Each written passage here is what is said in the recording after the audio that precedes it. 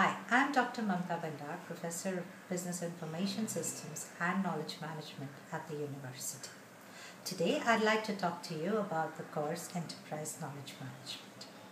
So, what exactly is knowledge management?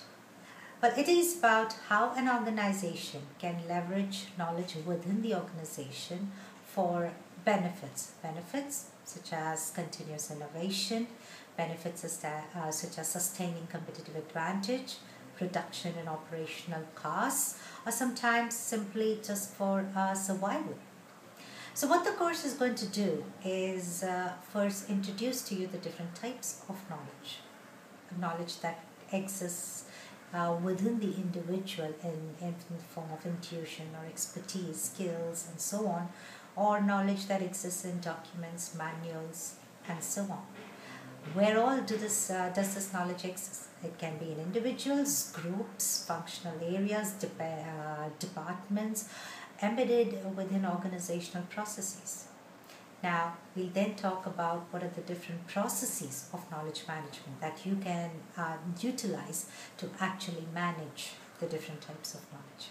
What implementation plans are followed, and also about the different knowledge management strategies that top companies have used.